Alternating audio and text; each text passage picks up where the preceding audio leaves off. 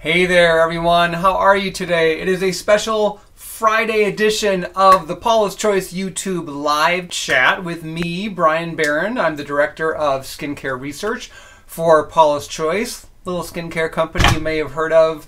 Uh, we are off to a roaring start this year. Um, our, our first quarter was um, uh, incredible in terms of some some um, milestones. We launched at, uh, Sephora Canada, which is huge. We have always had a really good and very loyal base of uh, Canadian customers. And I know it's been a frustration for them over the years that our product line was not readily available in any of the provinces. Um, you you were welcome to order from the states, but then you had to deal with the uh, the extra shipping and the VAT and the other taxes that are imposed on such orders. So now we have a small selection of our best-selling products. I believe there's six of our best-selling products are widely available in Sephora Canada, um, and it's just been a huge success there. And there are more products coming. So um, if you are um, uh, if you are living in Canada, it's reason to celebrate. Well, assuming you're a fan of Paula's Choice, and hopefully you are. Or why are you watching this show? Um, today's topic is um, before I get too much further into our milestones. Uh, today's topic is eye area, it just so happens I have an itch there at this very second, eye area anatomy. So what that means is I am going to be talking about um, why the eye area is unique, uh, why it ages uh, first and, and often fastest. If you ask most people, you know, where's your, uh, where's the one telltale area that you feel betrays your actual age, and they will likely point to the eye area um, and I will explain why that is. We're going to talk about puffy eyes, dark circles, lines and wrinkles, skincare options to help improve the look of eye area concerns, uh, skincare options that, if, if, started early enough, can can prevent at least to some degree what we see around the eye area that we uh, may not or probably will not like, uh, as well as where skincare stops and uh, in-office procedures. And there's there's I could do a whole separate show on dermatologist procedures for eye area rejuvenation, not just um, the non-invasive type procedures, but there are several surgical procedures uh, that a uh, plastic or cosmetic surgeon can offer that can remarkably improve uh, the uh, signs of aging around the eye that either skincare cannot really address at all or can only address to some degree. Uh, and then you, you, and it's important to, to realize that because what I never want to see anybody do is, is waste money on eye area products that are over promising or saying something uh, in terms of a claim that, that really just can't physiologically come true. Uh, and there's unfortunately there it's gotten a lot better over the years in terms of brands being more um, uh, straightforward, being literally being more honest about what their products can and can't do. But there are still products, and, and oftentimes they are the most expensive one, uh, or most expensive ones that are um, they're, they're, the claims for what they can accomplish are just beyond what is actually possible topically. The good news, because I don't want that to sound too discouraging, there are a lot of ingredients for the eye area that can make a beautiful difference with consistent use uh, and with daily sun protection. I'll talk about why that's so important in just a few minutes. Uh, you really can see a great difference in the skin around your eyes. So uh, it is uh, as much as it's uh, foolhardy, so to speak, to spend hundreds and hundreds of dollars on area products that make false promises. Uh, it's equally foolhardy to take the stance that eye area products do nothing to help skin around the eyes. And even better, many of the ingredients in eye area products uh, that can make a significant difference are also found in several well formulated facial products. So it still remains true that if you do not have a specific eye area concern, such as dark circles, but you are concerned about signs of aging around the eye, the fine lines that you don't want to turn into deeper wrinkles, you can successfully use your anti aging type facial products, assuming they're well formulated, in the eye area too. And you can test that out, see what kind of uh, results you get, and then decide okay, do I, based on this, is it should I switch my facial product out? Should I consider an eye area product to ramp up or amplify the results I'm getting from my anti-aging facial care product? Speaking of that, um, some of you may be aware that earlier, um, well, we're in April, so this launched in March. Um, the Pro-Collagen Multipeptide Booster, uh, which was one of the products that um, I had a, a, direct role with. I mean, I have a direct role to some degree with all of our products, um, but this was one that I was particularly passionate about because I was such a big fan and regular user of our peptide booster, the original, that when we started coming across these newer more innovative, more targeted peptides, uh, and and and we wanted to more tightly focus this product's results on the visible impact you'll see when you are able to signal the dermal epidermal junction. This product uh, has just blown us out of the water in terms of the, the uptake for it. It has been uh, popular uh, and beyond what we originally thought. Like like all of us behind the scenes who were you know involved in the ideation and the and the research behind it and the actual formulation. We were super excited. We were seeing the great results. We could not wait to bring this product to market. But even with all of that enthusiasm, there was still you know there, there there's still that unknown. Like you can come to market with a product like that and be super super confident but until it gets into consumers' hands and you start hearing what they think, people who have, you know, given us, you know, th- their money in exchange for this product, and then they come back and say, you guys did it again. I mean, this is this is phenomenal. I love it. I've never used anything quite like this. It really does work within minutes. Um, and the best part about this particular booster is that yes, you will get um, that near instant line smoothing effect, but it's also formulated for the long haul. Um, and that to me is almost more important, you know, the, the long term support this product is going to give you as you go through the years. So, two big news points there for the first quarter of 2023. We're thrilled to be in Sephora Canada, and we are beyond thrilled that the Pro Collagen multi-peptide booster has been so well received, and that is absolutely a product that you can and should use around your eyes, even if you are already using an eye gel, a serum, or a treatment, or whatever. Try this around your eyes too, and I think you're going to love the synergy that you'll see between the eye area product and this booster. So, without further ado, on this Friday before Easter, both my husband and son are off school and work respectively today. Um, my husband works for a company that is um, when the market closes or the market closes early here in the United States, they get the day off because he works for a financial institution.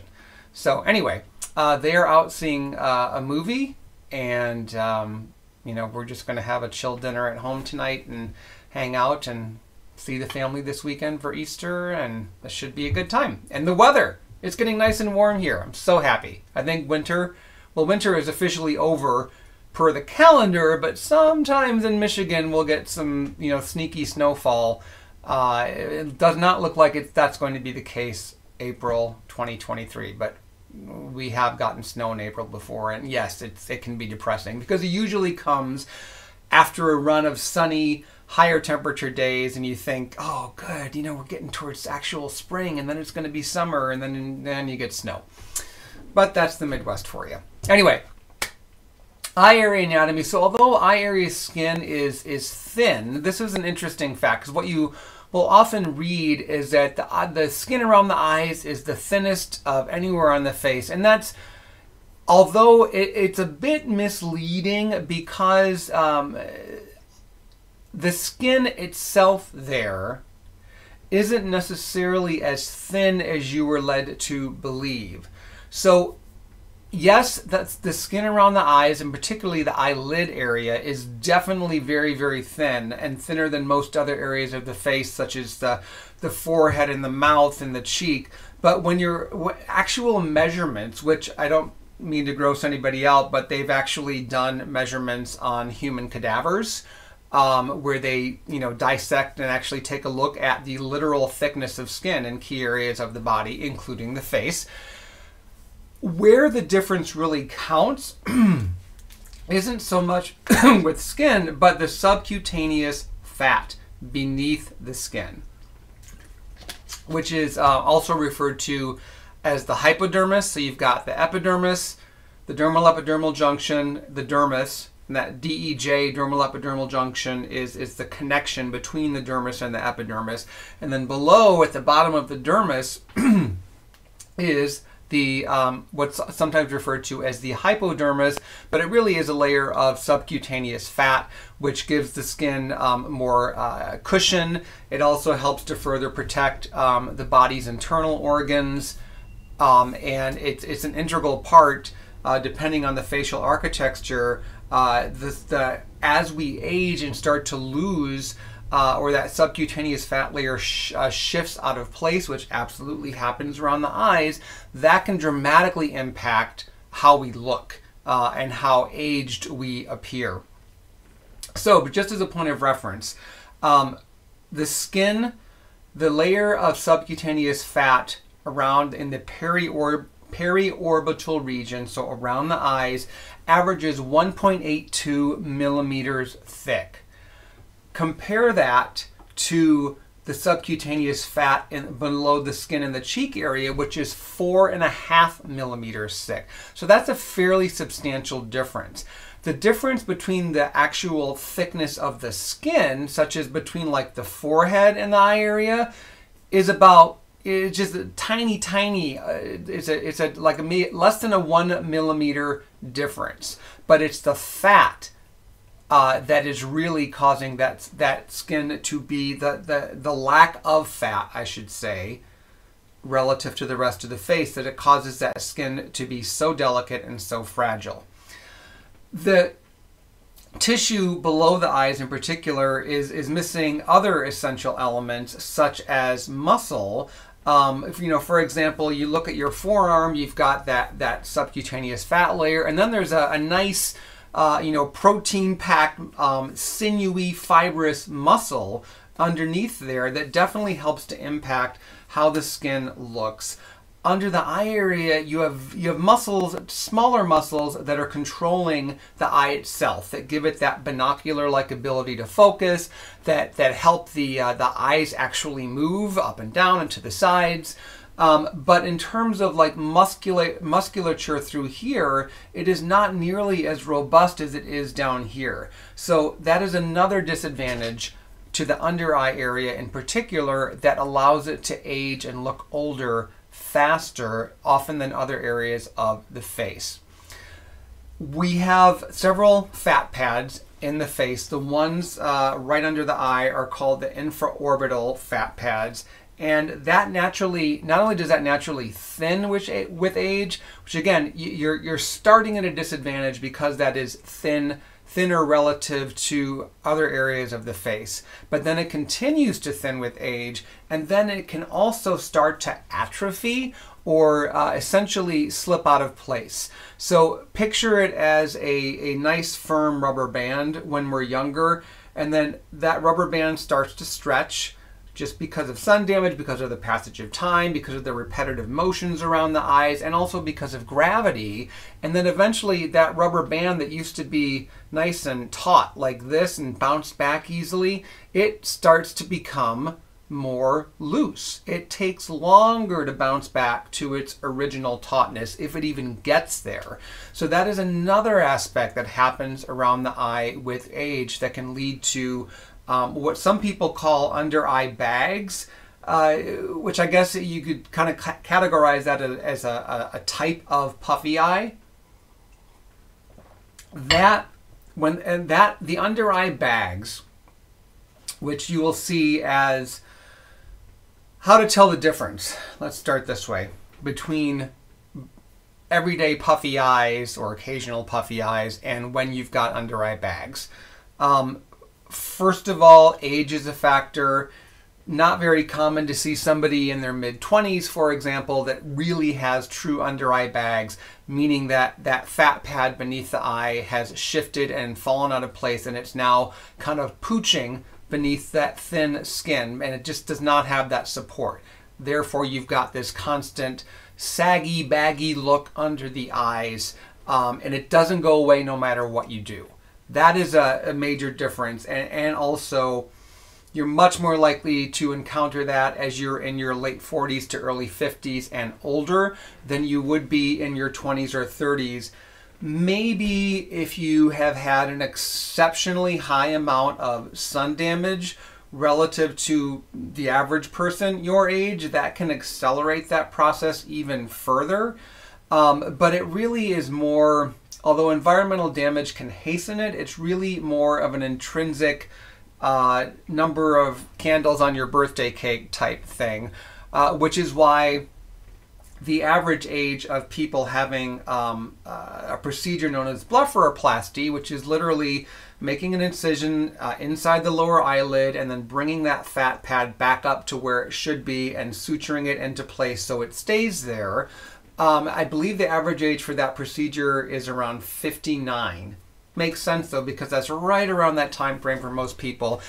If they're going to experience that some people are lucky and and they don't all of us are going to have some fat pad thinning and fat pad shifting both above and below the eye as we age. It's just inevitable but because of genetics and because of facial architecture and you know how much other supportive uh, element you have mostly bone in that area um, the how that looks and when it happens and the severity of it um, can vary. But the good news is, is there are those in-office uh, surgical procedures. Both upper, you can have an upper blepharoplasty and a lower blepharoplasty. Uh, again, some people find that they get the bags uh, under the eyes first, and then maybe five to ten years later, they start noticing uh, upper eyelid puffiness. Um, that it, that is partially due to uh, the forehead these uh, the the muscles uh, up here uh, and the fat pads in the in the forehead starting to droop, and that that also creates a heavier look to the brow.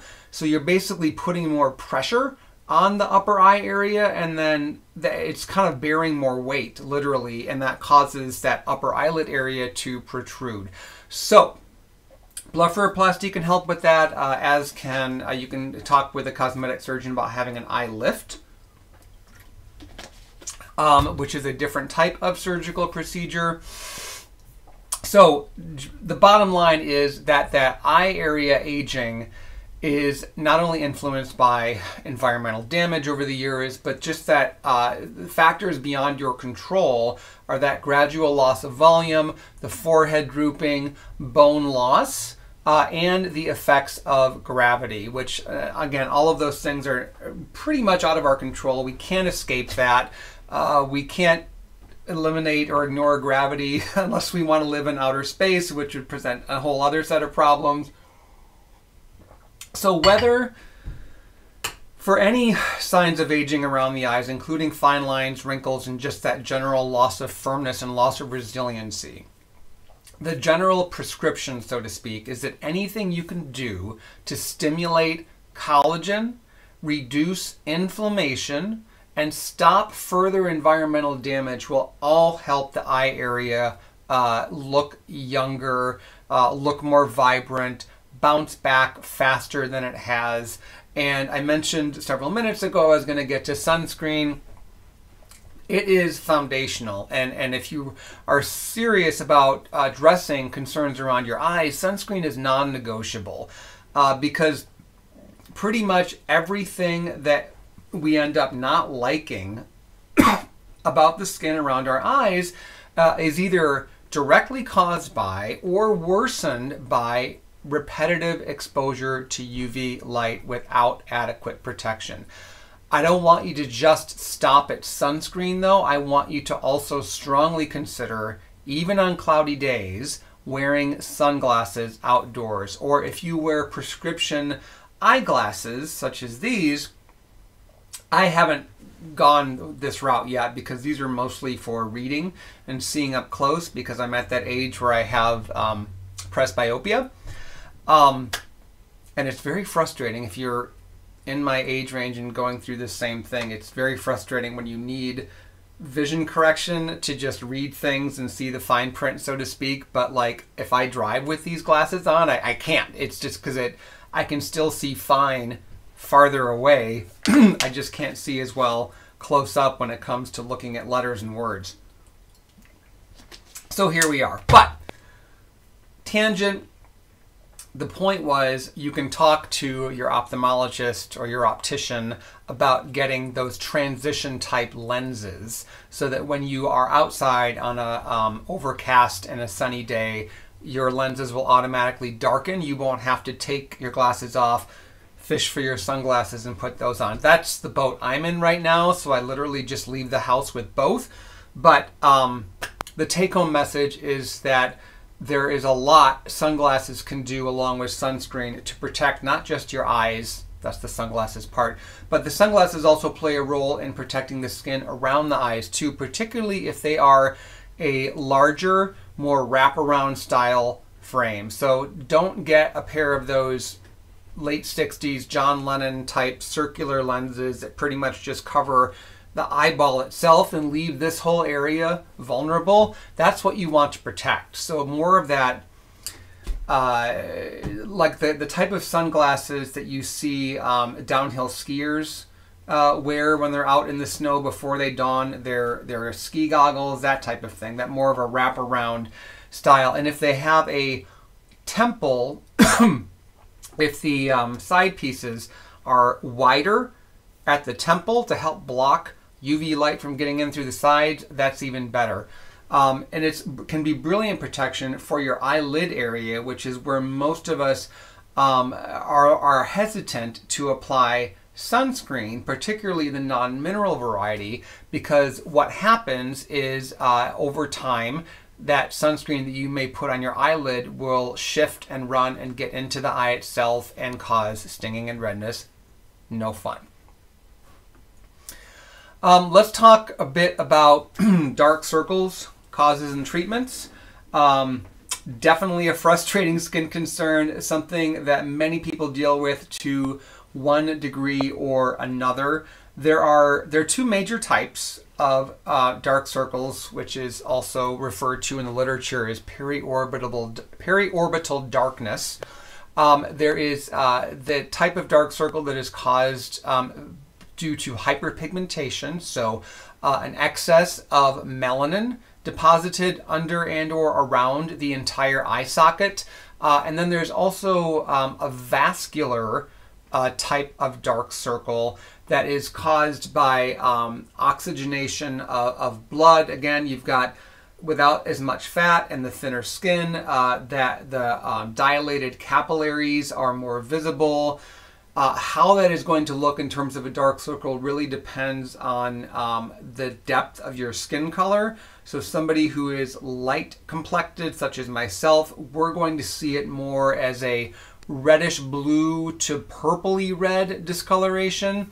Somebody that has more melanin rich skin, um, I'm trying to think of, uh, I can never say this actor's name correctly, the one who appeared in Black Panther and now his name is escaping me altogether incredibly gorgeous man. Um, is it Chadwick Boseman? Maybe that's who I'm thinking of.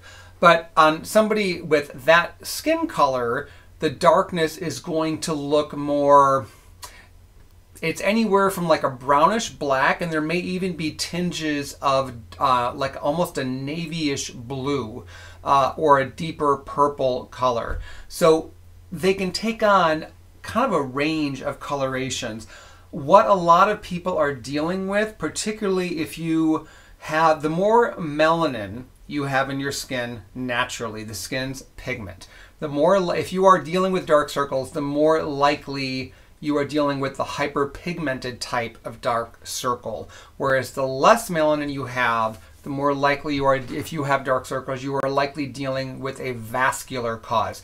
Now, can some people, regardless of skin color, have both types? Yep. That is why um, any good eye cream that is uh, claiming to target dark circles and help to improve their appearance is going to contain one or more ingredients that address both types. Because again, if you've got that combo going on and you only have ingredients that target the hyperpigmentation aspect, okay, then what about the vascular aspect? So you really have to go after both because if you've got the, the combo, you've got two different contributing factors to that under eye shadowing. There, um, in addition to sunscreen, again, non-negotiable, uh, particularly if your dark circles are, hyper, are the hyperpigmented variety, because that ongoing unprotected exposure to the sun is only going to fuel that discoloration. How do you know if you have uh, genetic or inherited dark circles versus just dark circles from sun damage, dark circles from allergies, dark circles from just getting older or maybe staying up too late. Um, first of all, it's it's a myth that dark that that dark circles are caused by a lack of sleep. It's it's sort of like stress causes the myth that stress causes acne. Stress plays a role in acne pathogenesis. It can certainly heighten it. But if you are not genetically predisposed to having acne, because some people aren't, everybody has stress. You know, so if you know everyone has some de- degree of stress in their daily lives, so why don't all of us have acne? Uh, and the reason is that some of us have a genetic predisposition to acne, some of us will outgrow that, and it's the same for dark circles. If you have always had dark circles, you know, you look at pictures of yourself as a child, and maybe they're not as pronounced as they are now that you're an adult because you've accumulated some sun damage along the way. Uh, all of us are guilty of that. Don't feel bad. Um, but if you can look, if you look back at pictures of yourself and you see that there's a little bit of shadowing under your eyes, and then as you get older, it's becoming more pronounced. Very good chance that your dark circles are hereditary. Of course, you can also look to other family members. You know, if, if your mother was always complaining about shadows around her eyes, or your dad always had darkness above here, um, your aunt, your you know, you can kind of look back and say, eh, well, that was you know, good old Aunt Gladys had that too. That's a good sign that you're dealing with genetically inherited dark circles. Um, I mentioned allergies, I mentioned sun damage, uh, rubbing the eyes. All of those things uh, can trigger uh, inflammation, and inflammation can make dark circles worse. We know from research that inflammation, that um, the creation of excess melanin has a tie-in with inflammation, which is why I mentioned earlier. Uh, and this is the same thing with wrinkles and fine lines and collagen destruction. Anything you can do to be gentle around the eyes, to use soothing, anti-inflammatory type ingredients is going to help. And conversely, the rougher you are on the skin around your eyes, the, the more you use irritating ingredients, uh, I was looking at a very popular skincare brand's eye area products, and uh, just today, and not only was I shocked at how expensive they become and the fact that they're still in jars, um, although honestly they didn't have too many lighter air sensitive ingredients to speak of, you know, breaking down. What really shocked me is how much fragrance was in them and natural or not one if you're gonna if you're gonna mix skin fragrance in any skincare product I, I, ultimately that should be the goal for every product that you put on your your your face and body um, but if you're gonna, you know, disavow fragrance in just one product, it should be products for the eyes because the skin is definitely more delicate. It can definitely be, more sensitive. You know, if somebody is complaining about a stinging reaction from a sunscreen, they're almost always saying it stings through here. They're not saying it stings down here on my cheek. Um, it's almost always the eye area that they notice it first and where it tends to be heightened. So the gentler you can be with that area, the better. Um, some cases of dark circles respond beautifully to the same types of ingredients that you would use to address a dark spot elsewhere on the face. Multiple types of vitamin C, niacinamide, licorice root, azelaic acid, retinol, or other retinoids. All of those ingredients play a role in helping to fade dark circles that have a melanin component to them. For the vascular component, that can be more stubborn. There's certainly fewer ingredients that have shown good evidence of being able to visibly address that. One of the ones that I really like that we incorporated into our C5 Super Boost Eye Cream is a component, a plant component from ginger uh, known as zerumbone. And part of why that ingredient is so effective is it, it can definitely act on helping to fade the um, hyperpigmentation cause of dark circles, but it has a dual action, and that it is uh, this particular component is so soothing that it can also help to visibly improve vascular dark circles as well. Uh, and I've seen some of the customer reviews for this product. and I've been I've been very pleased with how many people are saying uh, this is the only eye cream that I've ever used on my dark circles that really makes a difference. Um, that was one of the things we were really striving to achieve with this formula. It uh, you know, and we're not over promising with it. You know, we there's definitely a point. Uh, particularly with darker and genetically influenced dark circles, where there's only so much you can do. So for the most part, you can pretty much get to the point with skincare where you can somewhat undo the extra darkening that environmental exposure or other issues outside the body caused. Uh, and then at that point, you need to go to a dermatologist and talk about uh, the various in office procedures. And there are many. There are various light uh, emitting procedures. Uh, some derms will do gentle peels around the eye. Uh, some of them will suggest a combination of peels followed by uh, light emitting procedures and you'll probably need several of those to really get to the point where you can say wow I see a dramatic difference. Um, some dermatologists will also use hyaluronic acid fillers particularly in the tear trough area uh, because putting some volume back in that area and bringing as this area I should take off my glasses as this area starts to sink in a little bit by by doing an injection in the tear trough area and you want to see someone who knows what the hell they're doing with this. Do not ever do something like this at a mall kiosk or at your hair salon or if your dentist says I can do that get a second opinion, please. Uh, it's very easy to um, mess this up and end up with complications. Uh, and anything that's that close to the eye, just just use caution. But when done well by somebody who is highly trained and has done the procedure before, you can raise up this area with the filler, and that will make the under eye darkness. That you know, if you think about the way the eye is set in the skull you know, we have a natural shadow here, period.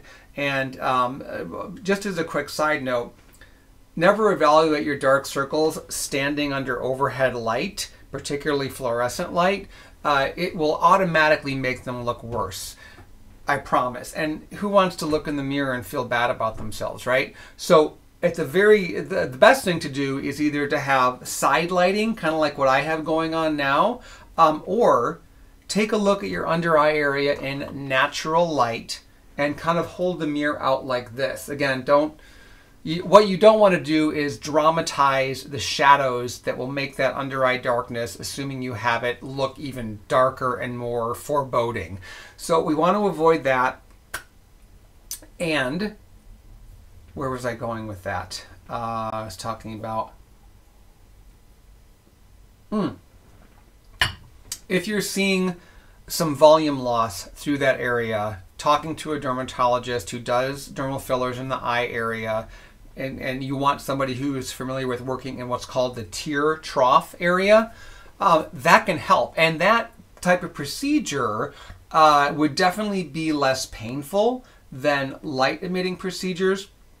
And uh, from what I have read, the results of that can last anywhere from 9 to 12 months. So it lasts longer than, say, getting hyaluronic acid lip filler, which tends to wear off in about 3 to 6 months. So, uh, but pros and cons, something to discuss with your doctor. The take home message is there are several in office options to help with under eye darkness.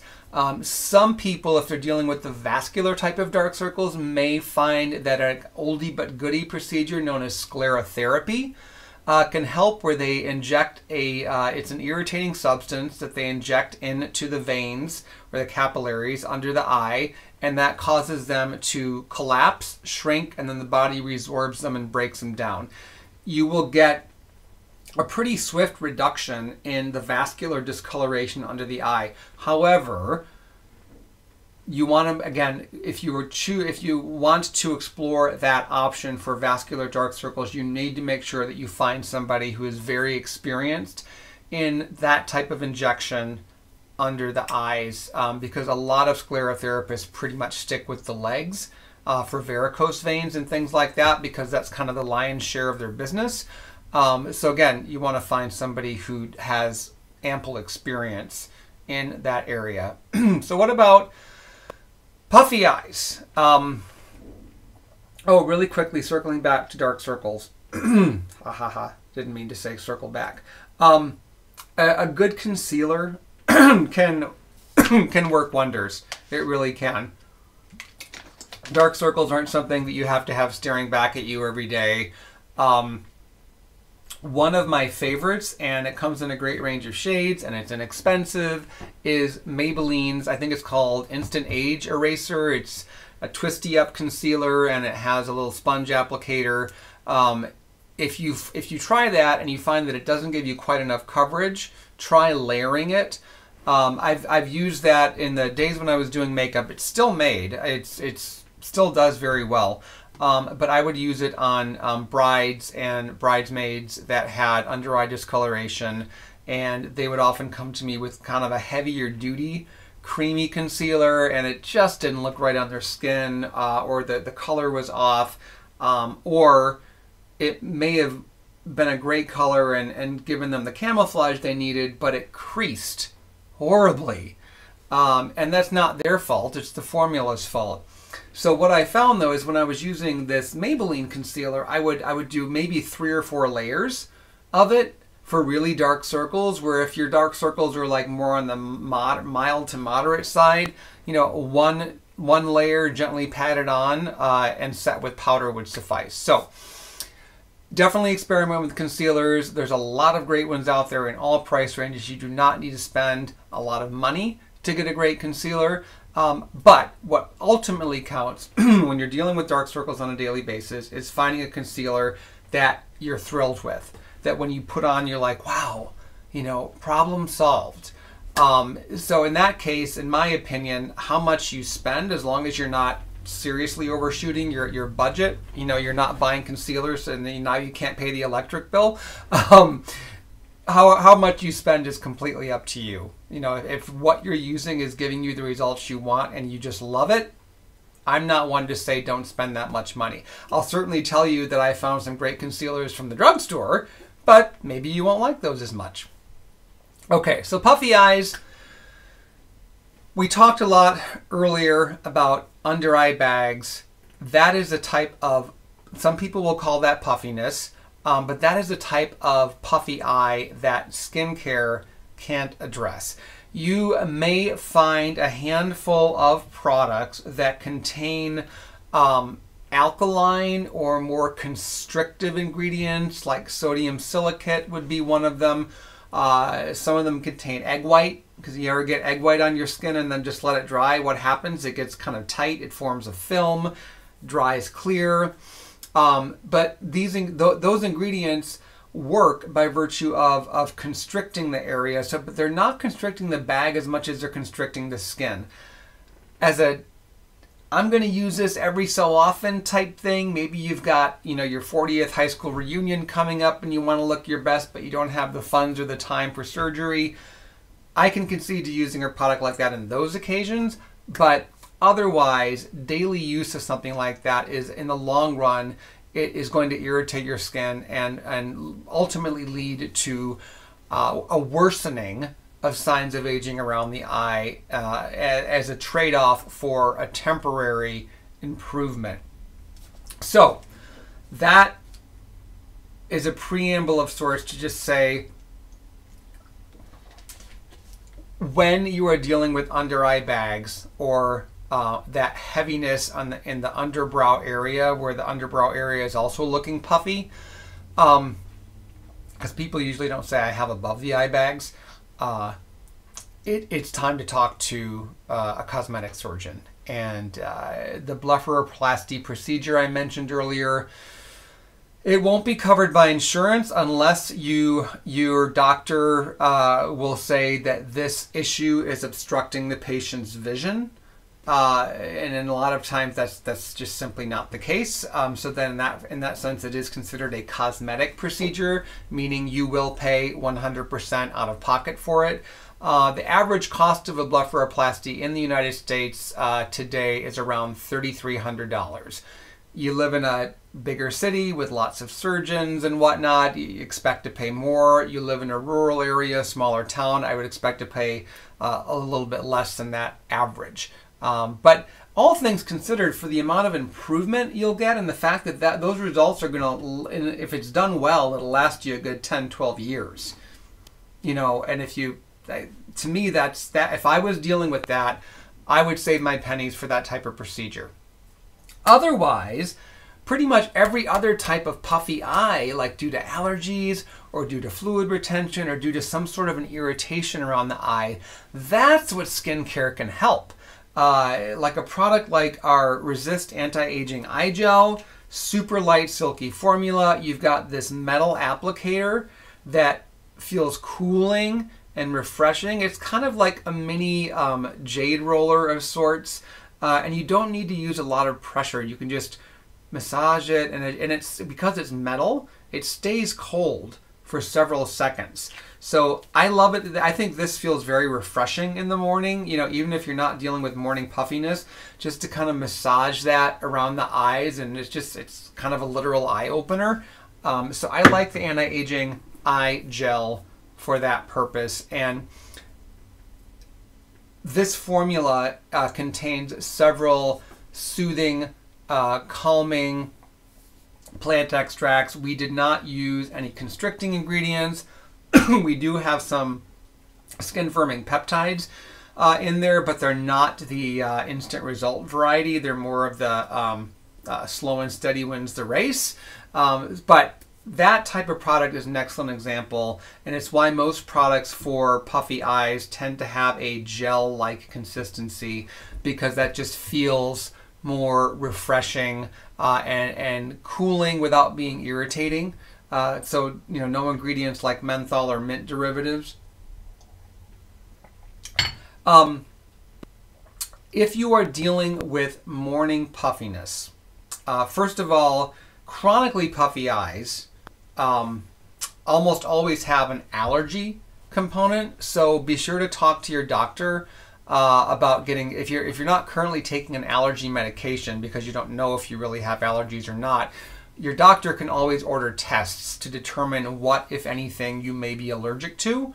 Um, you know the the prevalence of allergies in society has only increased uh, over the years. So, uh, and for some people, because of the amount of histamine that is released in response to the allergen, whether it's something internal, whether it's from inhalation like pollen, whether it's from uh, external contact, that can cause uh, fluid retention under the eyes that, boom, you've got puffy eyes. So absolutely consider that factor. uh, do consider whether or not you have a, a, habit, and a lot of us aren't even aware that we do this, of rubbing the skin around your eyes or like doing this when you're tired and, you know, kind of doing this with your face. That can also uh, exacerbate the, uh, set the stage for puffy eyes. Uh, so can uh, too much sodium in your diet. So can too much alcohol in your diet. Uh, and if you are typically waking up uh, and you you know you look at yourself in the mirror in the morning, you're like, oh, I always have these puffy eyes right when I get out of bed. Try sleeping with your head elevated. You know, if you normally use one pillow, try two or even three. Just, you know, experiment with that because there, there may be some quick and simple solutions you can do, some lifestyle modifications that will stop that puffiness from being a daily intrusion. Um, but again, there are many, many different ingredients mostly of the plant variety, um, that because of their soothing properties, they really help to take down that puffiness, and they can do so fairly quickly. Um, don't bother with cucumbers. they may feel nice, but there's nothing uh, in particular about cucumber itself that is a magic cure for puffy eyes. You know, if you want to slice up a chilled cucumber, you're doing a spa night at home, put a couple over your eyes and just lay back and relax. That's fine. I mean, for the relaxation element, great. But don't do it on the daily in the hope that it's going to alleviate your puffy eyes because it, it, it won't. Um, let me see. Got about 15 minutes left. Let me see if we. I'll, I'll get to a few questions. uh, Demi Mondane 13 says, "Hi Bryan. When I do tretinoin at night, I apply what's left on my fingertips under my eyes with no irritation. Is tretinoin too much for that area? What's your opinion? Always enjoy your videos. Thank you. Um, I think using tretinoin or other prescription retinoids around the eyes is fine. I would be, uh, as with any prescription retinoid, you need to be mindful of how your skin responds. Uh, some people can't use them every single night. They have to do every other night or every third night. Uh, I would I would be cautious about putting a prescription retinoid on my eyelid, um, maybe up here. Um, I, I, I, still think there's a little bit too big of a risk of it accidentally getting pushed into the eye. Uh, you can always ask your your doc or your pharmacist uh, about their opinion in that regard. But um, yeah, I think as long as what you're doing with what's left on your finger, you're not like starting in towards the tear, the the tear duct, and then moving out. Um, the the better approach is to kind of start like right here and move out, or like start back here, you know, where where the crow's feet are, and then just kind of work your way around like that, and then as the tretinoin warms to your body temperature, some of what you put you dabbed on is going to migrate a little closer to the eye. So it'll do that on its own. You don't need to get it like right up under the lash line. Oh, yes. Faux McCoy to my sunglasses comment. It says glasses like Joan Collins and Dynasty. Yes, the 80s were a great decade for super huge sunglasses, like almost larger than life. Um, and if you watch any of the Real Housewives shows, uh, the, the reality show, um, you'll often see you'll often see those ladies sporting very large sunglasses because you know when you live in a place like Los Angeles or Miami uh, that's that's sunny like that year round. I mean, they know you got to protect your eyes. It's not just about the skin around the eyes; it's the eyes themselves.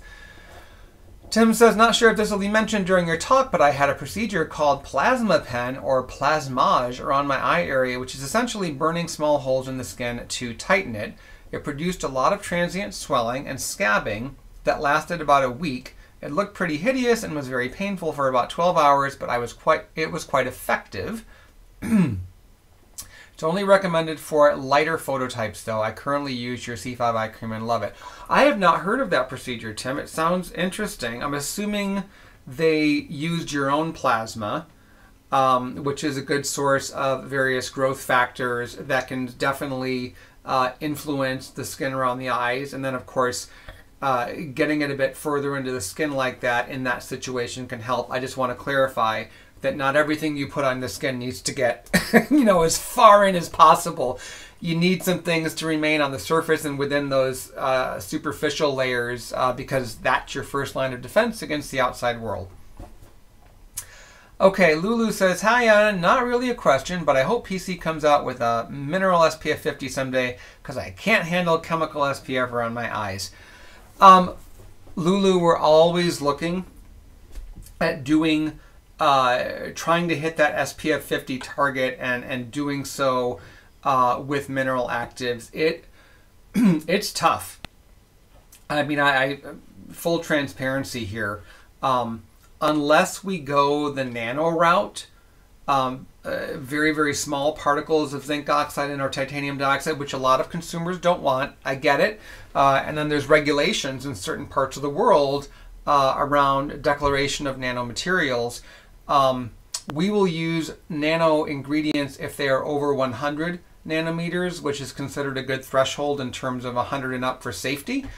Um, the fact of the matter is, though, the amount of UV filters of the mineral variety that you need to use to hit SPF 50, to some degree, it's almost like a, a one a, a, one for one. And there's it, it, it's to the credit of sunscreen chemists, including those that we have on, on staff at Paula's Choice, that they're able to create higher SPFs with minerals that give that broad spectrum protection and the gentleness that mineral actives have, uh, and pleasing aesthetics.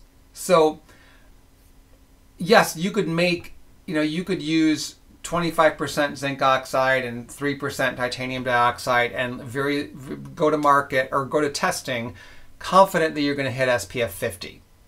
You know, at the very least, you might get to like a 49 uh, and then tweak the formula, you test again, and lo and behold, you've reached 50.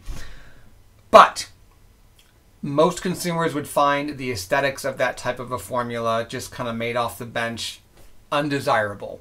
Uh, either it's going to feel heavy, it's going to feel occlusive, it's not going to not going to apply smoothly, uh, or this is the big one, it's going to leave a noticeable white cast, or depending on the depth of color in your skin, uh, you may perceive it as gray or lavender. Again, you know, cross all those off the list. Nobody wants that. So it's tricky. Uh, we're, we're continuing to, to look at various options. Um, one of the workarounds uh, to that would be adding a tint to the formula, but the, the, the issue with that is that a single tint isn't going to work for everyone. There's always going to be a group of people, uh, typically at uh, opposite ends of the skin color spectrum. So the, the if you got a single tint, the very very light people can't use it; it's too dark, and the very dark people can't use it; it's too light.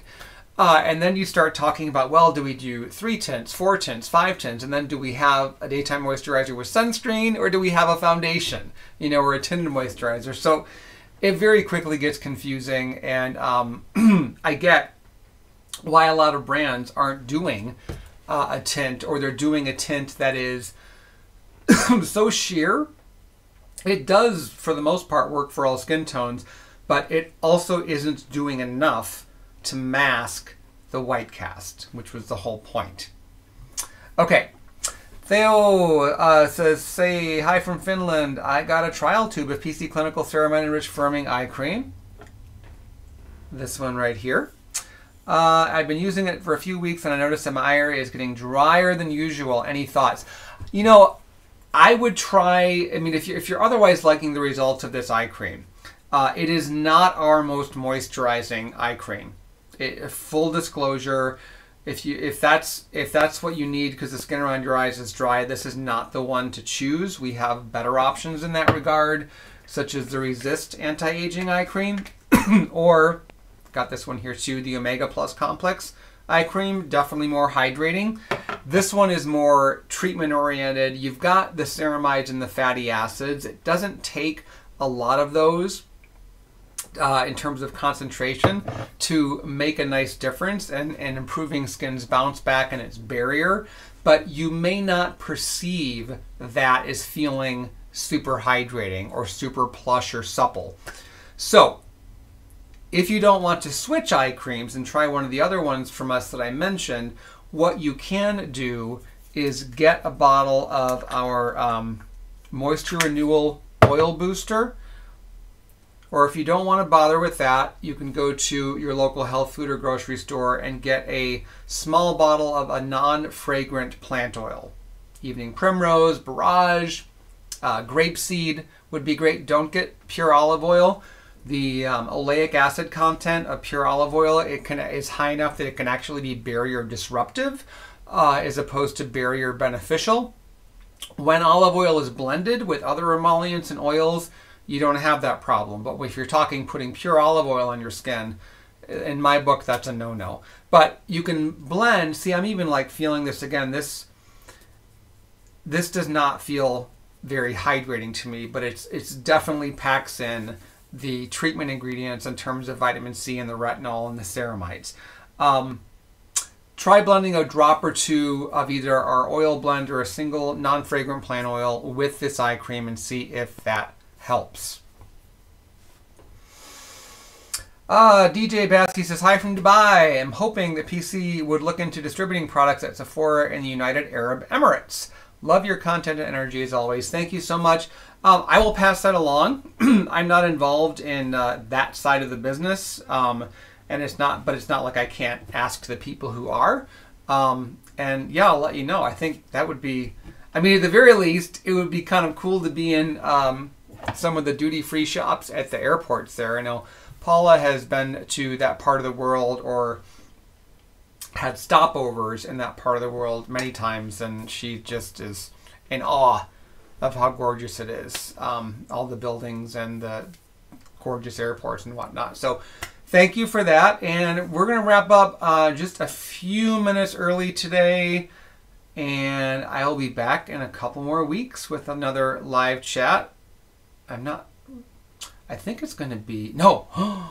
Ooh, you guys are going to want to tune in for this one. I was going to say it was going to be an Ask Me Anything topic, but now I'm recalling it's going to be another show about a new product launch. Not going to tell you what it is. You'll have to stay tuned to Paula's Choice, but you're really going to like it. Anyway, on that note, uh, if you are celebrating the Easter holiday, I wish you a beautiful, peaceful Easter holiday. Um, and if not, um, I still wish you a beautiful, peaceful weekend, and we'll talk soon. Thank you.